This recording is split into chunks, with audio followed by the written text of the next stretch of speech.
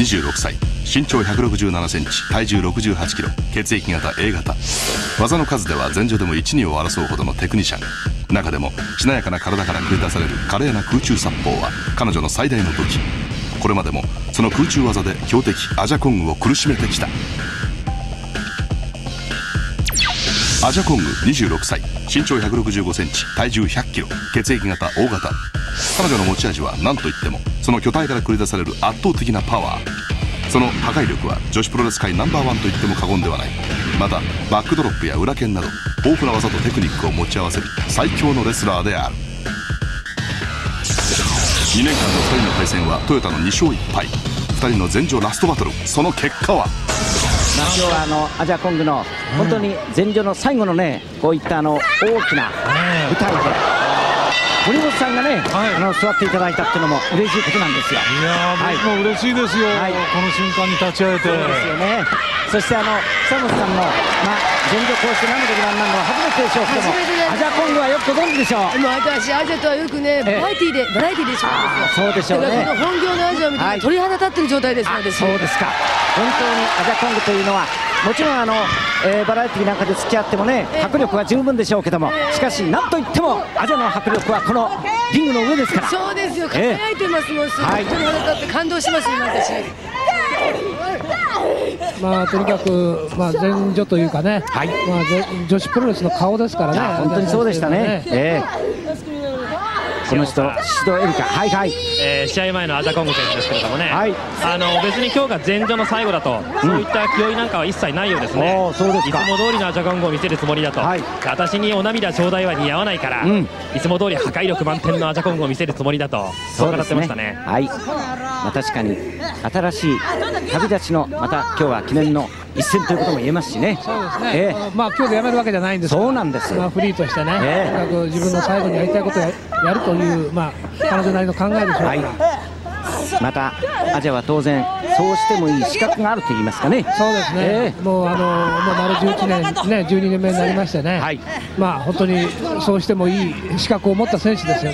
二人がじっと見つめ合っててあれもう本当にあの恋人同士の目だったねそういう風に感じました？うん万感こもっちゃったんだろうねなるほどね。や豊田選手もね、ええまあ、ついこの間、山田選手を見送ってですね、そうでねまたこういったアジアとね、はいまあ、なんかお別れの試合をするっていうのはね、非常に気持ち的にもね、複雑だと思いますよ。しかし豊田真奈美はある意味では前女の象徴的な存在ですからやはり見送るとなると相手となるとこの豊田真奈美ってことになるでしょう。そうですね、えおしゃくなってことは久しぶりでしょなってましたけどすごい。な面白い、ねい。やもう正美さんがねしっかり喜んでますけども、楽しい、ええ面白い。ですね、初めて見たんですけどもそうですかえハマってますねアジャコング登場すると何か実況のしがい。があるってい。うか一つの技でもねそれからあのちょっとした仕草にもやはりアナウンサーとしてあこれはもう素晴らしい。ってい。うかこう感動を受けますですね、ええさあ今日はアジャコング本当に陽気にね前女専属の最後のレスリングをやっているようであります。何かあのトヨタもですねいつもとは違うんじゃありませんか？そうですね、ええ。あのーなんかやっぱりちょっと違うキャラクターが今日は出てますね。本当ですよね、ちょっと3枚目的なところも出たりしましてね、なるべく陽気に付き合おうと、こういったトヨタ真奈美の気持ちではないでしょうか。森本さんはあのアジアコングのシシドエリカ時代はご存知なんですか？あの頃はビデオでしか見てませんね。そうですか。この人があのプロレスラーとして前場に入ってきた時はシシドエリカっていう可愛い名前でしてね。まだあの頃本当にあのおぼこい感じでしたよね、そうなんです。体も大きかったんですけどもねうん。ろくにあの話もできないようなね 何を聞いてももうはいはいって小さな声で答えるような可愛い女の子でしてね。あそうだったんですか、ええ。こんなに文字通り大きくなるとは私たちも思いませんでした。こんなこと言っちゃいけないんでしょうけど普段にアジアって本当いいやつなんですよね。いいやつでしょ？いいえやつ優しいね、そうでしょうね。それがこうやって表変するところはい。これはもう逆にバラエティーなんかで久本雅美さんがあの付き合ってるアジャっていうのを私たちは知らないわけでしてね、ええ。まあ、とにかくこういったあのリングから抜け出して外に出ても十分に魅力のあった。アジャコングっていうことは言えるんでしょうね。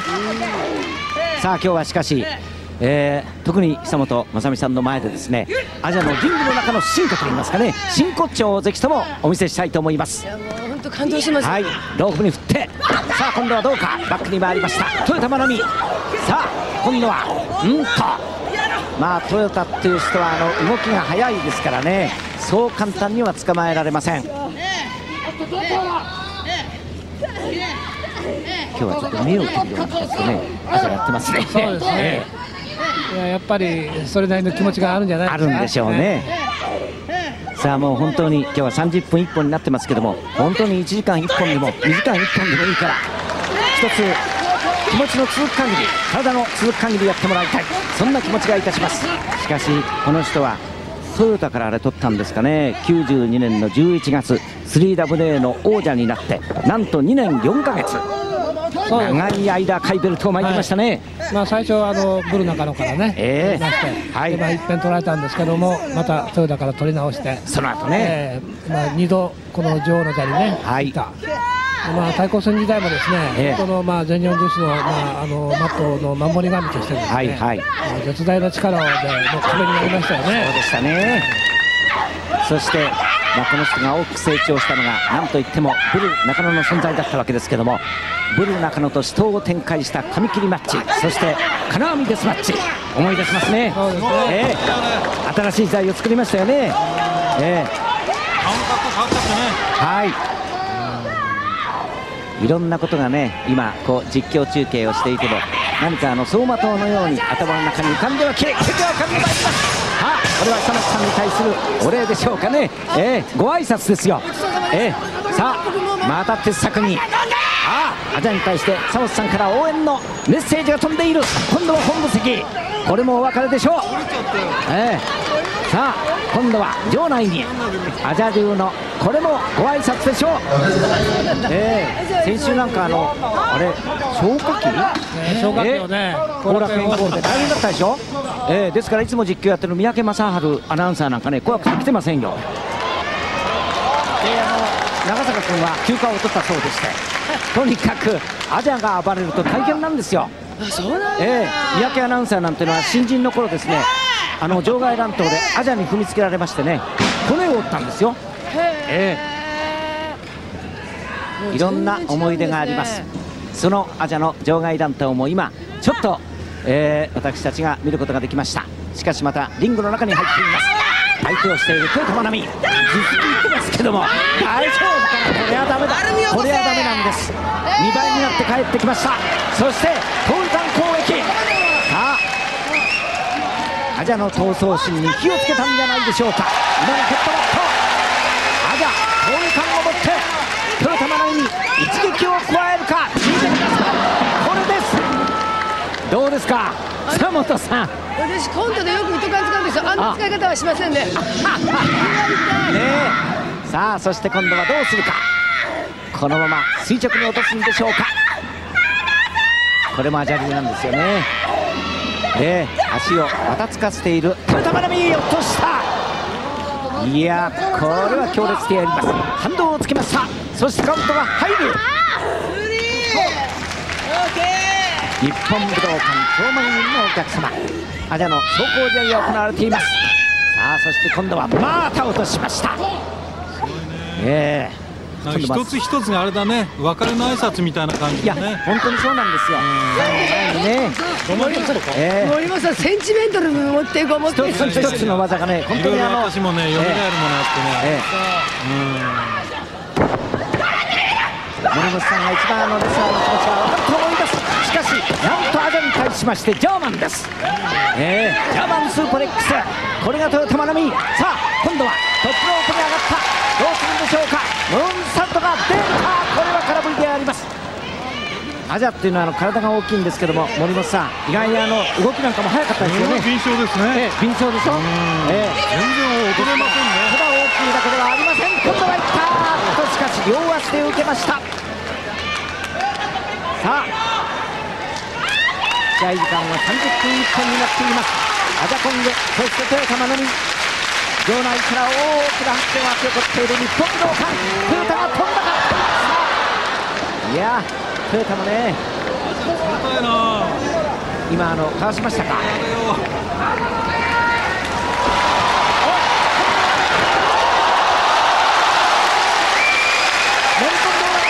うね地響きってんですか。ズーンという音がねまともか。ええまともですね今。なるほどいやー今度はがっちりとトヨタ学び受けました。すごい。あじゃあもう飛ぶんですよああいう風に。アジャが飛んだの初めて見ましたよ見たでしょ？アジャ身があるいやいやなんだ本当にね巨体なんですけども身軽なんですよ。すごいですね、でね今ね、ええ。場外でね一緒に元気ミサイ選手がその技を食らっちゃったんですけどね、はい。元気選手もノックアウトされちゃいましたねいたの。いましたね。一緒にノックアウトされちゃいましたね。あそうですか。いやそんなもんですよ。ねえ。さあそしてまたアジャが飛んだ。アジャクジラみたいですね。ねハイリングボディープレス。アジャが行きました何かあのトヨタ真美選手の内臓が飛び出しそうな感じであります。本当ですよ。100キロ超えるやつが飛ぶなんねそして長い髪の毛を持って。さあアジャどうするんでしょうか。コーナーポストに据えました。お一番嫌いな技って言ってますよ。何でしょうかね。水車式ですかね。え？あ水車。落として。しかし逆に変わった。うまい。なだれ式のあの水車落として一番嫌いなんですかね。今そう言ってましたよね。まだこれから前女のマットをまとい守り続けなくてはいけない。トヨタなのに。さあカウントが入りました。どうでしょうか。まだかわしています簡単にはアジャとは別れたくありません。そしてアジャが乗ったとうとしたエルボーですこれはもう突角に入っている。カウントどうか。これもカウント2点を懸命にかわしました。トヨタ真波であります？さあフィニッシュ宣言。これで終わりにしようというねフィニッシュ宣言なんですよその何が出るか。裏剣でしょうかあ裏剣が出るんでしょうか？ああやってますやってます。そしてあっとうまくかわした。今度はでもかわしました。裏剣をかわしました。そして今度はキックが入るさあロープに振る。アジャコングどうでしょうか？逆転だ逆転だ。さあローパリーズをこれは素晴らしい。今日玉美友情の大技いやーよくかけましたね。今度はトップロープに上がっている。そしてどうするんでしょうか？今日玉美空中殺法が出るのか？あーっとサイルキック強烈なミサイルキック残念にそしてもう一発。さあもう一発。一今度は側頭部であります。やりました。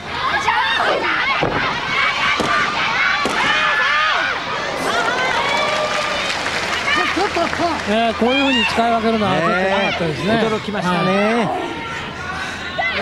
まあこれが走行試合と私が最初にご紹介したんですけどももうすでに2人の選手はそういった走行の2文字は切れているに違いありません。そしてローリングクレードルが炸裂しております。巨体に対しましてローリングクレードル。トヨタも得意技を連発していっています。さあ場内完全にこの2人に注目が集まっていますおーおーという歓声が沸き起こっている日本武道館。アジャが辛抱しているどうするか？あ久本雅美さんから大きな声援が飛んでいます。ああ風がいった。すごいぞ。そのまんまいくカウント。ト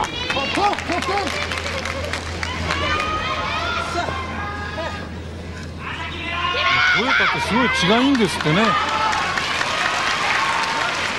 いやなんかあの常人離れしてしまううんなるほどなるほど。はい。回復それは力がものすごくあるんだあるかもわかりませんね、ええ。さあしかし次第にトヨタ七海の動きがちょっと少なくなってきました。さあ今度はフィニッシュを宣告いたしました。しかしトヨタいやートヨタじゃ一歩も後に行きません。さあどうするんでしょうかトップロープに上がっている。あーミサイル場外にミサイルトヨタがになりました？そしておっとどうしようというのか？あーっと放送席の今机を持ち出してしまいました。ごめんなさいごめんなさい。久本さん大丈夫？森本さん申し訳ありません。放送席の今机を持ち出してしまいました。さあどうしようというのか。あーっとここに今マイクは壊すなって言われたもんな。あこれはちょっと大変ですよ。この上にああさあ今度はお客様の拍手を要請いたしました中華七海一気に飛ぼうというんでしょうか。あーっと一気にペペコンヒーロー。ねペトコンヒーローをやりましたね、驚きました。測ったように落ちましたね、ええ。あれは難しいでしょう。いや放送席全然聞こえがなくなっちゃって申し訳ないですね。早くあのスタッフに持ってきてもらいたいと思います、ええ。はいどうもありがとうございました。お願いいたします。いやー放送席の机まで使いました。さあまだ試合が続いています。走行試合はどうでしょうか？やった。今外で先にあーっと裏剣だしかし手を打ったどうするんでしょうか。またジャパニーズオーシャンに行くのか。さあどうか。やったー。今度は決まった。カウンターどうでしょうかこれも決まりません横を見てしまって今はアジャで戦っています。トヨタマナミそしてアジャコングですしかしうまくいきません。あーどうしたこれはあのカウンター3つだ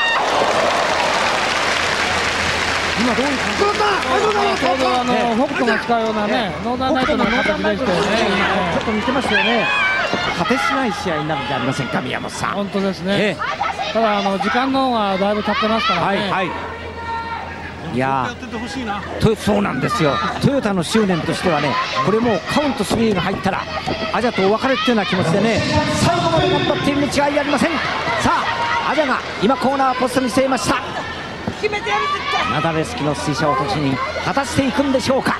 どうするんでしょうか？さあおーっこれは一番上からであります。さああーうん。あのダメですこれも決まりません今日はもう絶対に負けないぞ。カウント3を入れさせないぞと。そういった感じの今日はまたに人になっている。そしてアジャがもう一度。フィニッシュを宣言しました。日本武道館沸いています。さあアジャどういった技でトヨタマナミを仕留めるんでしょうか。裏剣でいくか。裏剣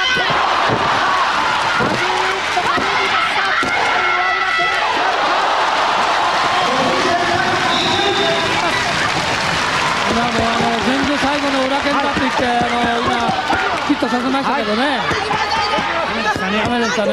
ええ普通だったらもう決まってます。終わってます。ええもう終わってます。普通だったら終わっています。これで終わりません。トヨタマナミもう一発この裏剣はどうでしょうか。顔面を直撃。今度は決まった。い。やーかつてアジャの裏剣をまともにあれだけ切って。カウント3をしなかった選手がいませんよ。ねすごいですね、本当に顔面にね、ええ。あの2発がヒットしてるんですけどね、いいやこれはアジャ走行試合で相当裏剣の自信を失うんじゃないでしょうか。決まりません。さあ3連発一回入った。今度は3つ目入りました。そして抑え込んでいる今度は誰か。またもまたも羽を起こしました。恐るべき執念トヨタ泣いてます。いやートヨタはねもう本当に無意識のうちに跳ねのけているに違いありません。怒った。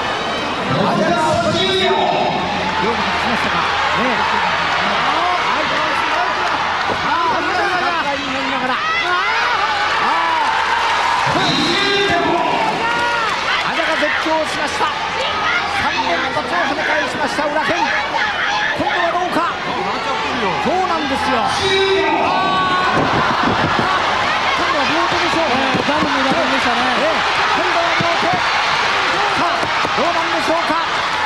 上に行く上に行くそしてカウントが入りました。今カウントが入りました。もう今あのねカウント3を取れないですかね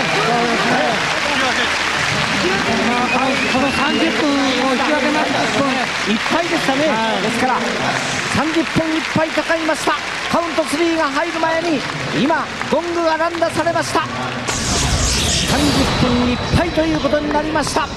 ですから引き分けですか？引き分けですね。引き分けですよ、えー今伊藤薫選手が全日本女子プロレスの選手を代表いたしまして花束を送りにリングの上に登場しております。は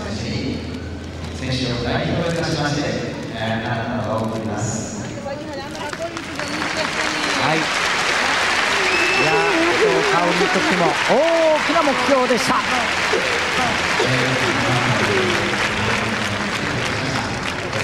瀬戸朝香さんがね今花束を持って登場いたします。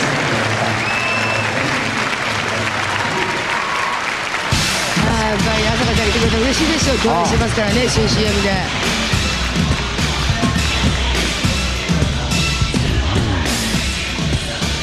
現状の